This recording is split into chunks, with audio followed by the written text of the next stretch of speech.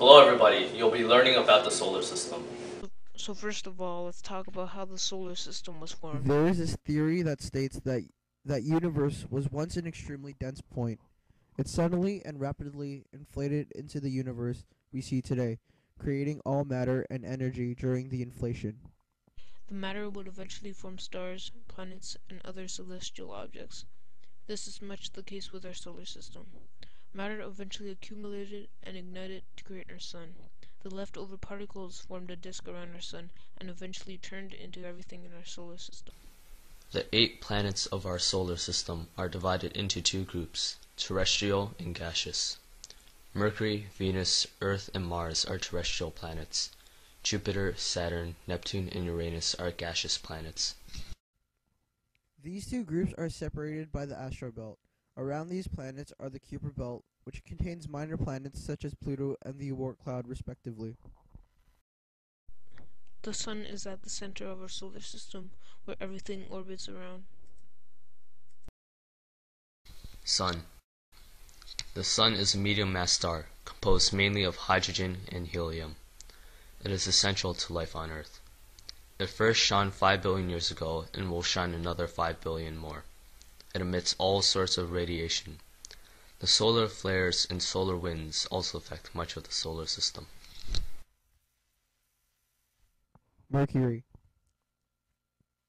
Mercury is the smallest and closest planet to the Sun and has no atmosphere due to the effects of the solar winds. Therefore, it is bombarded by asteroids and comets. Its surface is also similar to our moon and has phases like the moon. The temperatures vary from 400 degrees Celsius on the side of light to 180 degrees Celsius on the dark side due to its lack of an atmosphere. It has no moons. Venus. Venus is the second planet closest to the Sun and is often called Earth's twin due to its similarity to Earth in diameter, mass, and gravity. Venus's orbit around the Sun is shorter than Venus's rotation on its axis.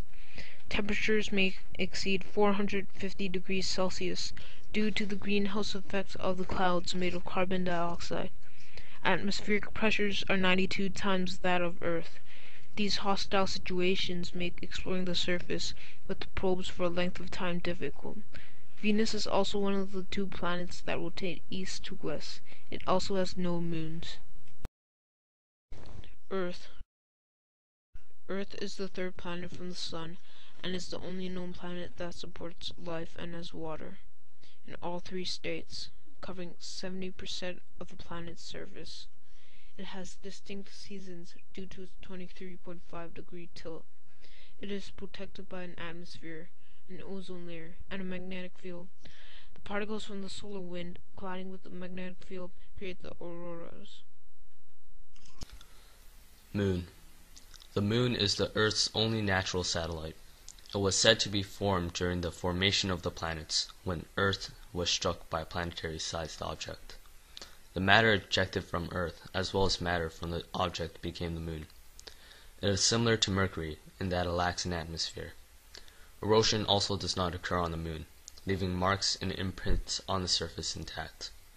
The Moon is also responsible for the tides on Earth. Mars. Mars is the fourth closest planet and is known as the red planet due to the iron oxide on its surface, which gives it a reddish hue. It has a thin atmosphere and surface features similar to the craters on the on the moon on the moon and the and volcanoes, valleys, deserts and polar ice caps of Earth. Its average surface temperature is extremely cold. It is speculated that life exists or once existed on Mars, with probes and, satellites sent to, to study and examine Mars. Mars has two moons, Phobos and Deimos. Asteroid belt. The asteroid belt is a ring of rocky debris of all sizes that is located between Mars and Jupiter. These rocky debris or asteroids are composed of varying material, with some made of silicate material to metals. The gravity of Jupiter is said to have prevented the asteroids from gathering into a hypothetical planet. Jupiter. Beyond the asteroid belt is Jupiter, the largest planet in the solar system. It is composed mainly of hydrogen and helium, and if it were just 10 times larger, it would have formed a star.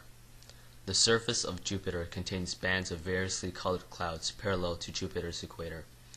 It contains a storm called the Great Red Spot in its atmosphere, and is the size of three Earths. It never moves north or south. Jupiter has three very thin rings, as well as the most moons out of all the planets in the solar system. Saturn. After after Jupiter is Saturn, the second largest planet. It, it has the most extensive ring system in the solar system. With over a thousand rings composed of ice and debris, it is similar to Jupiter in composition, and mainly that is, and mainly in that it is mainly made up of hydrogen and helium. Uranus. Uranus is after Saturn and is the third largest planet. It is unique because its axis of rotation is tilted towards the plane of its orbit. It, it also rotates east to west, unlike the other planets. The methane in its atmosphere gives it a bluish color. Uranus is also similar to the other gaseous planets in composition. It too also has rings around it, having nine.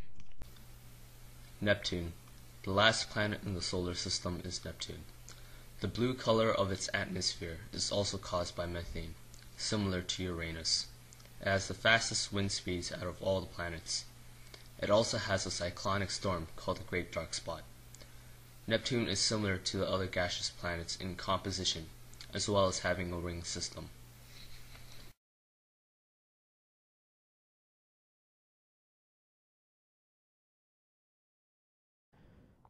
Past the planets is the Kuiper Belt, a disc-shaped region about 30 to 50 astronomical units away from the Sun that contains remnants of the formation of the solar system. It is similar to the asteroid belt, only larger, and the objects inside the belt are composed of frozen volatiles such as ammonia and methane. The belt is also home to dwarf planets. Oort cloud. Surrounding the solar system is a hypothesized, vast, spherical shell of comets, which are made of ice and dust, called the Oort cloud, and it too contains remnants of the formation of the solar system. It is said to compose of 100 billion to 2 trillion icy bodies.